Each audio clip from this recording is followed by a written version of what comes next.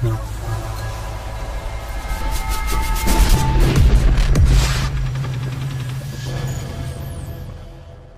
going on guys? This is Ferox or Joey and you guys have probably seen a lot of neon layer style tutorials on YouTube but this is a lot more uh, subtle I guess than most of the uh, than the tutorials out there. You know this can be used for a lot of other things.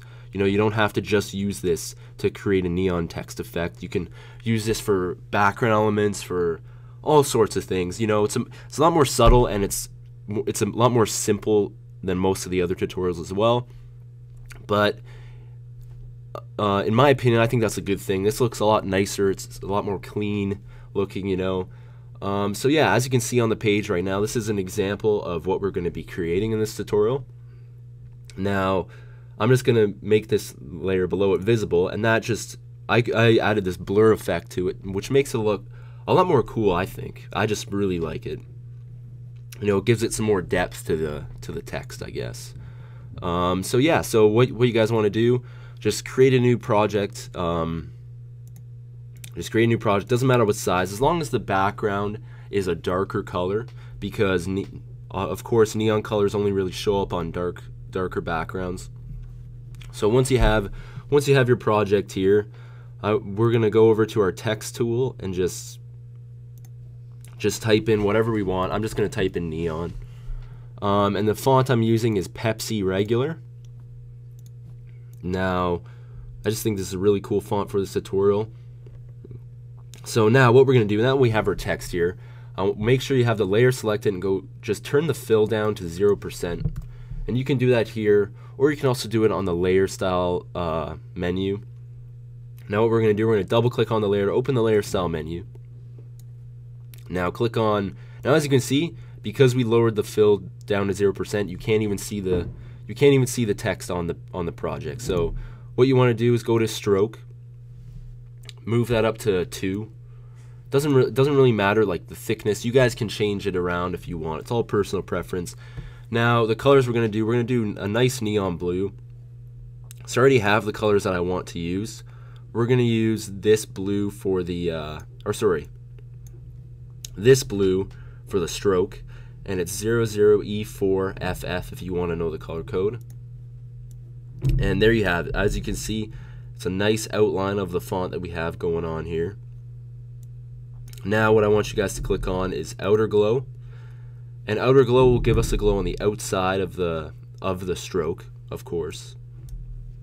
Pretty self-explanatory. Um, go to opacity, turn that down to 50%.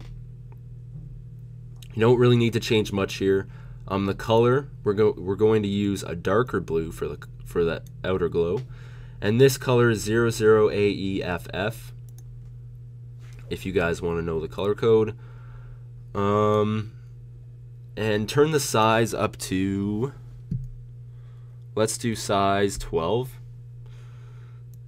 Mm, let's move it up to 15. 15 you know, of course, these sizes all depend on the size of the project you're working on, the size of your text, or whatever element you're working you're working with, right? So they're all they're all dependent on whatever size, whatever si- like whatever like how big or how small something is, right?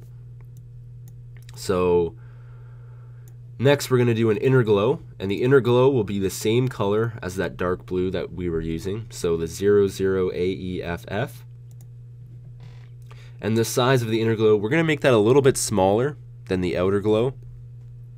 So let's do 10. Mm, let's do 10. And make sure to turn the opacity down to 50% just like the outer glow. Um yeah, so there you have your really simple neon text. You can click off your layer style menu, and there's your very simple neon, ne neon style text that we have going on. Nothing too special, but it looks really nice. It's very clean looking. And you can do a lot more with this. So now what we're going to do, we're going to make sure we have our layer selected and just type Command or Control J on your keyboard. And th what that does is, is it duplicates the layer. And make sure you have that copy layer selected. Right click, convert to smart object. Right click it again and rasterize the layer. Drag that layer underneath your neon layer. And what we're going to do with this copy layer, we're going to add that blur effect that I did before. So we're going to go up to filter, blur, motion blur. And with motion blur, you can change the angle of what where you want the blur. We're just going to do, we're just going to keep it horizontal at zero degrees, and the distance to 50 pixels. And then we're going to make select that layer again, and just turn the opacity down to 75%. And there you have it. There's your neon. There's your neon layer style. Uh, very, very simple, but it's very effective. Um, and I'm gonna leave this I'm gonna I'm gonna leave this simple and subtle, I guess, because there's so much more you can do here, and I want and I encourage you guys to, you know, as you're following along this tutorial, just try different things. You know, click on things you never clicked on before, and you never know, you might create something really cool or something you've never known. That's how you really that's how you get to know Photoshop a lot more. You just it's just all trial and error. You know, you just you just try different things and you can come up with cool cool effects, cool styles. You know, it's just that's that's just the great thing about Photoshop because you're not really limited as to what you can do. Now, as for background elements, this this tutorial is very helpful. Uh, for example, let's just get rid of this neon text here. And I've created these lines actually before this tutorial, and they're just they're just straight diagonal lines.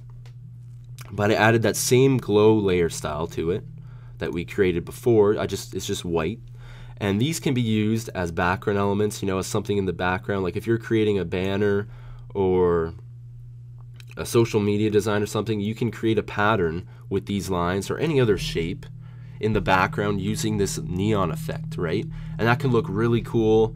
You know, you can make them stand out, make them, you know, like turn down the opacity, make them look like they're just fading away or whatever. You know, this could look really cool there's just so much things you can do. So I hope you guys enjoyed the tutorial. Uh, if you have any other tutorial suggestions, make sure to leave them in the comments because I'm open to that and I read all the comments. So yeah, guys, I'll see you guys later. Peace.